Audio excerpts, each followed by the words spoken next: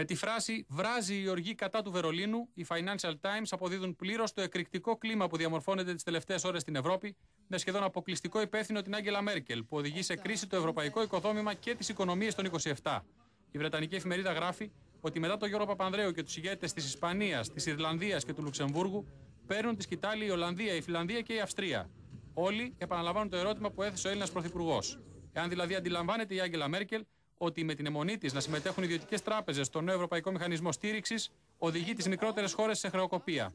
Wenn Frau Merkel sich durchsetzen sollte und demnächst auch Banken und Versicherungen und private Anleger mit ins Boot geholt werden beim Risiko, heißt das, dass diese Anleger wahrscheinlich nicht mehr neue Anleihen zeichnen werden. Wer ist dann bereit, griechische, irische, spanische und portugiesische Renten zu zeichnen? Ο Ζαν Κλοντ Τρισέ, που επέλεξε ω πρόεδρο τη Ευρωπαϊκή Κεντρική Τράπεζα να μαζέψει εδώ και μήνε τα κρατικά ομόλογα για να αποτρέψει του κραδασμού, τώρα αντιδρά στο ενδεχόμενο αναθεώρηση των συνθήκων, αφού διαπιστώνει πω η αστάθεια μεγαλώνει μέρα με τη μέρα στι αγορέ.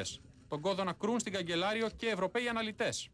We are certainly uh, close to uh, almost a breaking point of not of the eurozone, but of the institutional infrastructure of the eurozone, because the governments uh, don't know really what to do.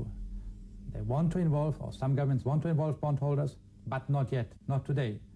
And of course, just talking about this, thinking about it, makes them nervous and gets them the very result which they don't want, namely that some countries can't finance themselves. Το κύμα των αντιδράσεων έχει ευνηδιάσει το Βερολίνο. Ωστόσο, ο Γερμανός Υπουργός Οικονομικών Μπρούντερλε δηλώνει ότι η χώρα του δεν μπορεί να πετά χρήματα από τα ελικόπτερα. Ενώ η Άγγελα Μέρκελ μοιάζει να κλείνει τα αυτιά της σε όλες τις εκκλήσεις και να αγνοεί τις παρενέργειες της αδιαλαξίας της. Όσοι δεν είναι τόσο ανταγωνιστικοί σήμερα πρέπει να βελτιωθούν. Στην Αθήνα, ο Γιώργος Καρατζαφέρης χρησιμοποίησε στη Βουλή ακραία ρητορική, σχολιάζοντας τη συμπεριφορά της γερμανικής ηγεσίας, με αποτέλεσμα να προκαλέσει την αντίδραση του Υπουργού Επικρατείας. Η Γερμανία μας τα παίρνει και συνεχεία μας λέει μας πετάει λεφτά με τα ελικόπτερα. Κάποια στιγμή να συνειδητοποιήσουμε ότι αυτό το κράτος δεν έχει βάλει ακόμα κόκκινο φωτάκι για να έχει ανάγκη τους προαγωγούς. Δεν έχουμε ξεκινήσει κάποιον γερμανικό πόλεμο. Όχι. Και προφανώς δεν υπάρχουν κόκκινα φώτα. Και υπάρχει η φρόνημα του ελληνικού λαού, ο οποίος είδατε και είδαμε όλοι ότι έχει αντέξει κακουχίες. Απέναντι μας έχουμε ένα ράι. Δεν είναι το τρίτο. Αλλά η φρασιολογία της κυρίας Μέρκελ εις βάρος της χώρας είναι ακριβώς η ίδια. Με τη φρασιολογία του Γκέρικ το 1942 στο Υπουργικό Συμβούλιο.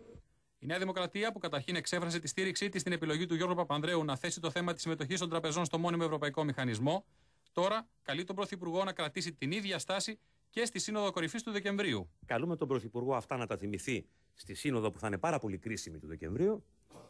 Και επιπλέον τον ρωτάμε γιατί τότε, όταν τα έλεγε ο Αντώνης Σαμαράς τον Οκτώβριο στις Βρυξέλλες, δεν τα επεσήμανε και ο κύριος Παπανδρέου. Θα παρουσιάζουμε διαρκώς τις θέσεις μας, αλλά δεν επιδιώκουμε σύγκρουση με τη Γερμανία, απαντούν από την κυβέρνηση. Βεβαίως, λες τα επιχειρήματά σου μερικές φορές και με ε, έναν πιο έντονο τρόπο. Αλλά αυτό δεν σημαίνει αναγκαστικά ότι είμαστε σε σύγκρουση.